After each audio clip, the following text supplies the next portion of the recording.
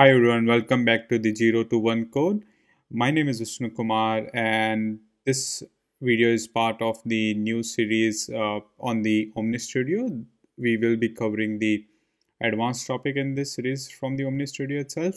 So in today's sessions, we are going to talk about the HTTP action uh, that we have in integration procedure and we will be doing the two kind of calls through this. Like one would be the post and one would be the uh, get call. Uh, we will be utilizing whatsapp api and chuck norris api uh, for our examples. So to start with the whatsapp api what we need to do is we need to set up the uh, facebook app. And for chuck norris we don't need anything to do that. Uh, it's just a simple and unauthenticated api that we can use uh, directly so let's get started.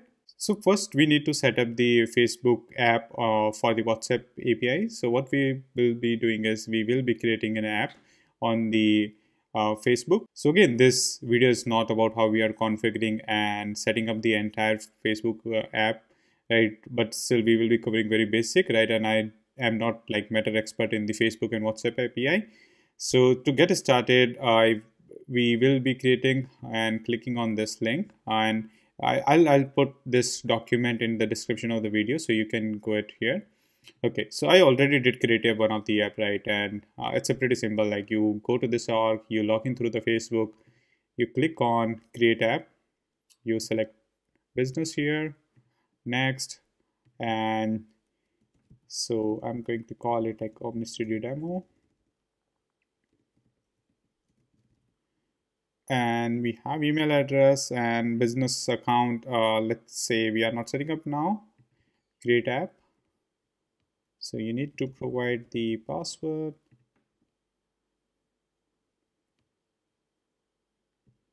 Okay once you create the app right it will ask you to set up the product that you want to utilize. So we are going to utilize the whatsapp here. Click on setup. And assuming that we don't have any business account and uh, for testing purpose we will just go with the default option create a business account.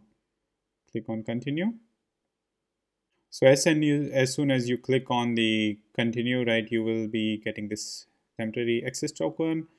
And you will be also um, seeing the option to select the phone number where you want to send the message out.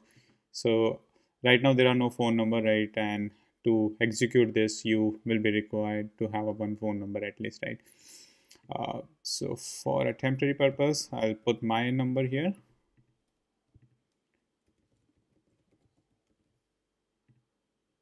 So as soon as you do that you will be receiving the uh, OTP on your WhatsApp.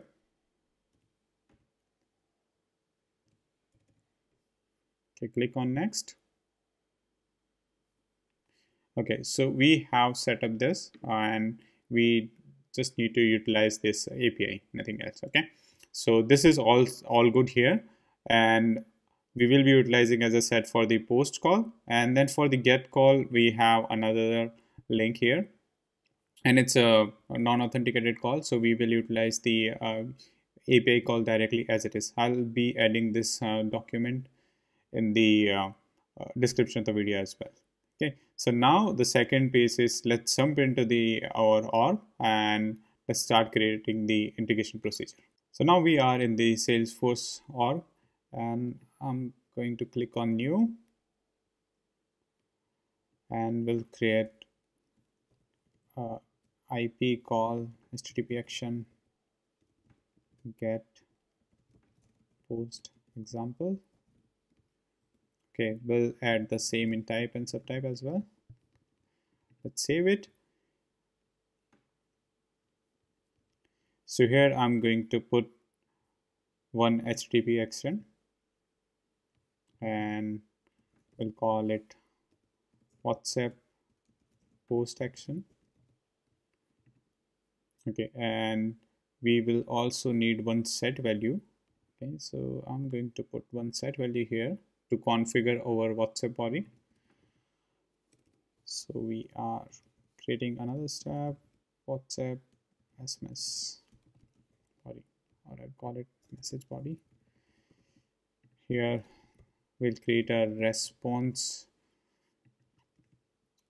here we are going to create a element type body okay and if I go back to the uh, Facebook document uh, we can see the message here. So I'm going to utilize the message as it is okay? Not making any kind of changes here.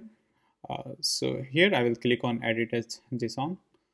And this is the body piece that we have here. And I will paste um, the body that we want to send right? So what it has like if you see it's a messaging product right? So it's a totally payload right? It can be different for uh, other apis that you are calling so add it in property back to this. Okay so we have our uh, body. All good here. Let's go back to the post action okay.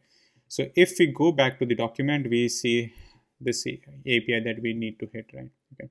So i'm going to provide the http path here and the method that we need to utilize is post. So in capital post. Uh, if we had the name credential we can utilize that but uh, as we are doing directly from here so we are not utilizing the name credential here and obviously as we are calling it from the salesforce we have to set up this url um, in our remote site setting. Okay so we'll go to the setup. Uh, we are going to add a new remote site setting. Url and whatsapp api save it. Okay i'm going to remove this.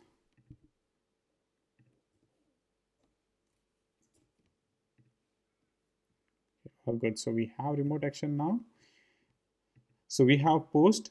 Now we need to configure these headers. And so we have two headers here. Uh, one is authorization another is a content type. Okay so i'll copy this authorization. We'll go back to here. Rest option we are going to add header authorization. Then we have another header called content type. Okay so our content type is application json. So i'm going to put this as it is and then uh, we have our authorization. So that's our authorization key. I'll copy it and put it here as it is okay? This checkbox it also check right it says that okay whenever we are calling this we need to send out the body along with it right? Okay to send out the body of call right we don't have other fields as such mentioned specifically for the body right? We have headers we have params but we don't have anything for body. So how it works is so whatever you are sending in the json path right it will be going there okay? So in our case our uh, body is stored in whatsapp uh, message body and then we have body uh, variable okay? So what i'm going to do is i'll go here i'll put something like this. So send whatever we have in this okay? So this is all set up uh, all done okay cool. Let's go and preview it so i'm going to click on execute.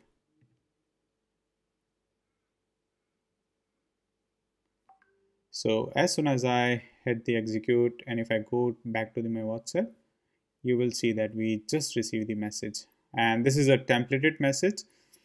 Uh, again like you can change a lot of things here right? You can add a buttons right? So those are things um, that you need to uh, figure out from the document of the facebook and whatsapp api i'm not covering that part. So we just did the post example. Now we are going to do the get example. Okay here i'm going to put another http action. And this would be chuck norris get action. Okay so straightforward the path is like this one.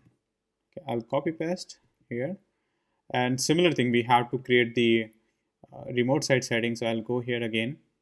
I'll create a new remote site. And we'll add, it here. Chuck norris api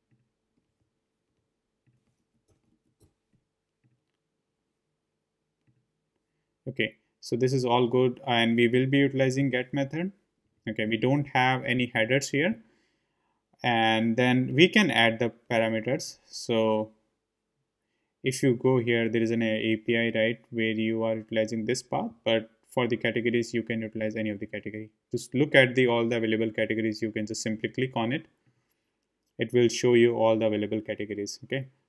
So I'll go back here category and from here I'll pick any of the categories. So for example I'll pick the dev.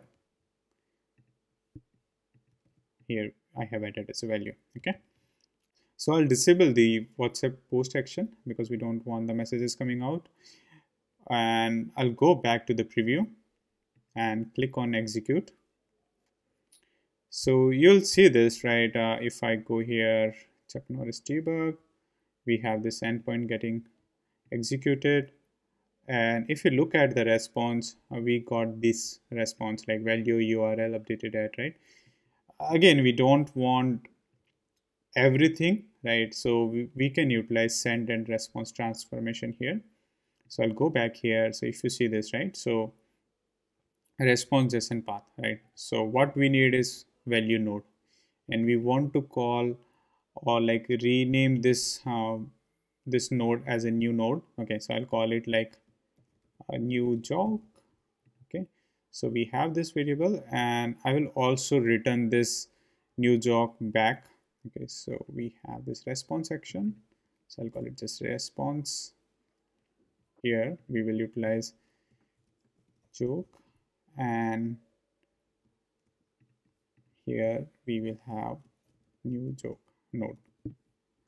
So whatever we got uh, from the this API we are just keeping the value and that value is getting in the new, new, new node called new joke and then we are utilizing that new node here and we are returning as a response action so if I go back and hit the preview we should able to see this right? So joke and this is joke and if I click on execute so this API is pretty cool right? It gives you random jokes uh, so if I click on execute we have another joke we have another joke something like this. Okay. Straightforward um, again very powerful tool uh, like so here we haven't coded a single line right uh, and we are able to make the integration calls um, from this IP so that's it for this video. Uh, we'll see you in the next uh, session. So if you're a beginner right uh, so i have created an entire series for the omni studio beginner tutorials. Please go there and watch out and please do like share and subscribe the channel. Thank you